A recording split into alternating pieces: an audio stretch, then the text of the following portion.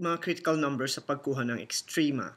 Na meron tayong dalawang conditions na kailangang sundin para makuha natin yung mga critical numbers natin given a function. So, ang unang condition, dapat daw yung um, critical number na makukuha natin will be equal to 0. Tapos, kukunin din natin yung mga numbers na kung saan yung uh, critical number mo eh, magiging undefined. So, usually, pag polynomial ang pinag-uusapan, ang mga conditions na yan madaling isatisfy kasi ang polynomials lagi naman con- um, continuous at saka differentiable.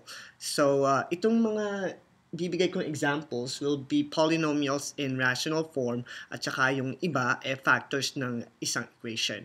So, sa first example ko, meron akong uh, function. Itong function na to ay rational function at kailangan nating hanapin yung critical numbers nitong function na to.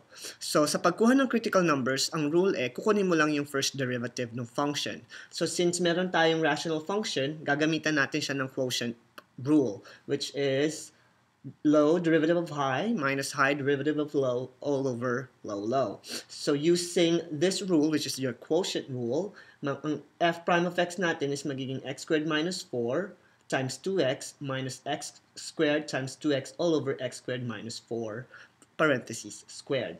Now, kapag sinimplify natin itong f prime of x, ang magiging rational ex expression natin will be negative 8x equal to x squared minus 4 quantity squared.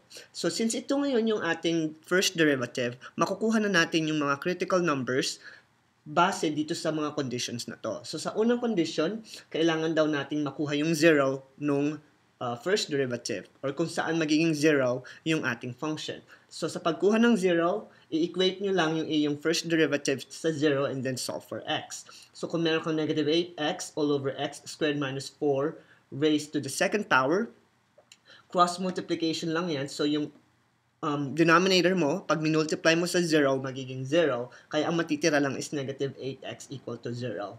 Therefore, itong condition number 1 natin, yung isa sa mga candidates ng ating critical number will be x equal to 0. So ito pa lang yung possible uh, candidate doon sa ating critical numbers kasi kailangan pa natin siya i-verify later on.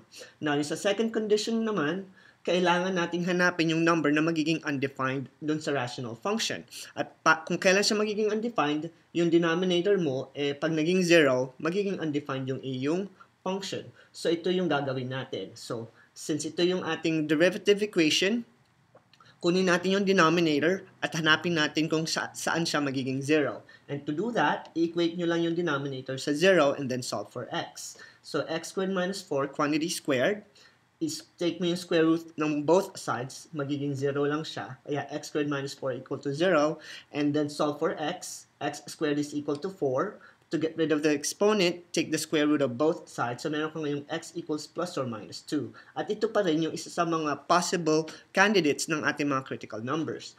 Now, dito sa dalawang grupo ng numbers na to, alin dito ang pwede nating makonsider as critical number? So, pupuntahan nyo ulit yung original function nyo. Mahalaga itong gawin ninyo kasi hindi agad-agad na pagka nakuha nyo yung value ng x, yun na yung critical numbers. Kailangan mas- masatisfy yung condition. So, dito sa first condition, when uh, the first derivative is equal to 0, pag pinlog in nyo yung 0, dito sa ating f of x, magkakaroon ka ng 0 all over negative 4. At alam natin na ang 0 ay all over negative 4 is equal to 0. So, real number yung ating um, equation kapag ginamit natin si x equal to 0. So, therefore, ito ay isa sa mga critical numbers natin. Now, i-verify naman natin ito sa condition 2. Ito bang plus or minus 2 natin ay kasama din na critical number kapag pinlog in natin siya sa function. So, pag pinlog in natin to sa function, 2 squared or positive 2 squared minus 4 will turn into 0. Tapos kung negative 2 rin naman to magiging 0 din yung denominator na magiging undefined. Kaya, since ang x value natin or yung function natin na f of x is magiging undefined, pag pinlagi natin tong value of x na to, ibig sabihin hindi to kasama doon sa critical numbers. Therefore, x sub 0 or x equal to 0 is the only critical number for the function f of x. Yung susunod nating function, meron tayong f of x is equal to x times square root of 16 minus x squared. So tulad ng ginawa natin, kailangan nating, sa paghanap ng critical number, kailangan natin kunin yung first derivative At pagkakuha ng first derivative, kailangan nating isatisfy yung dalawang conditions kung magtutugma siya doon sa ating f of x. So dito, yung f of x natin, change ko yung radical form into an exponential form kasi mas madaling mag-derivative kapag ka exponential yung ginagamit natin.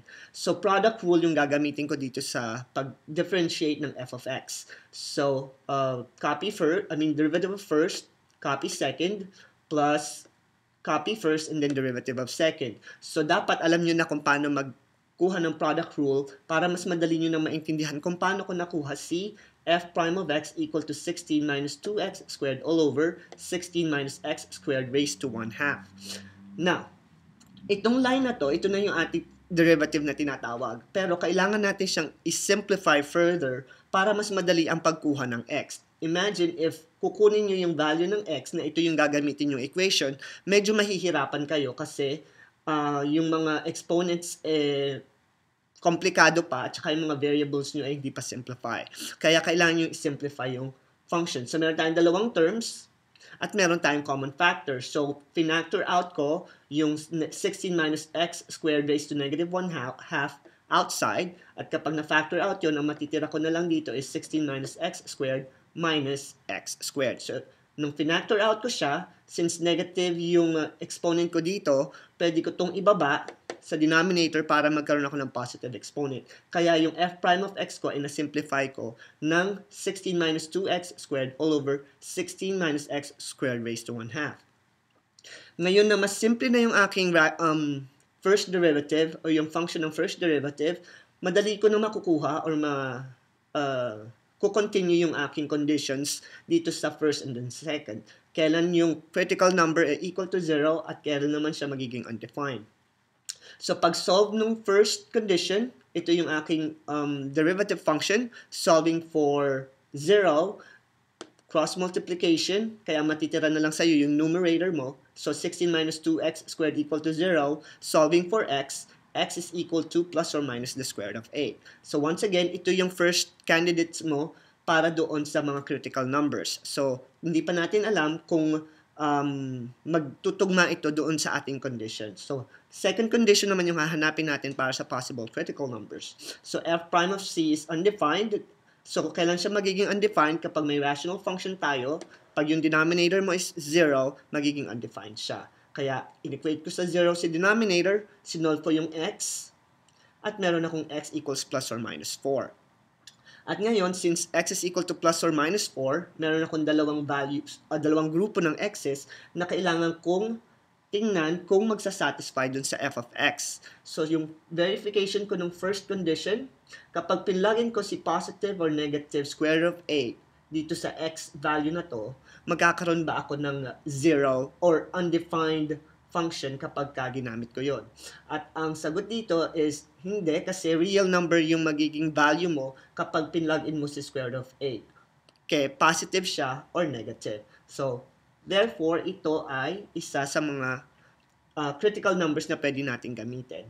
Tapos, dito naman sa pangalawa na condition, si x is equal to plus or minus 4, gagamitin ko ulit si f of x, ipaplugin ko yung value ng 4, either positive or negative, and check kung real number yung magiging uh, sagot ko. At dito, napatunayan natin na real number siya kapag sinubstitute mo si 4 dito. So, magiging 4 squared of 16 minus 4 squared. 16 minus um, 4 squared is 16 will be 0 and 0 times another number is 0. So 0 a number pa rin naman siya. So real number siya. So therefore ito ay critical number din.